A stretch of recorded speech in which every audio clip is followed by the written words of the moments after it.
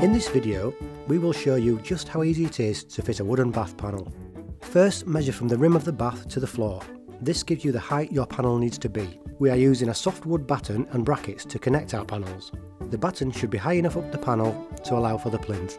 Once the main panels are joined, you will need to cut down the plinth. Any cuts that you make should be from the wall end of the plinth, and you will also need to allow for any skirting boards or pipes. Any cut edges of your wood should be sealed with a PVA mixture or varnish to alleviate any water penetration. Offer up the panel to the wall and once in the required position, mark the wall. Remove the panel and using a piece of plinth, make a second mark. Attach the battens to the wall with screws.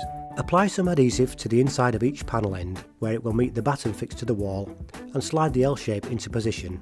Fill the joins with a bead of silicone sealant to ensure a watertight finish.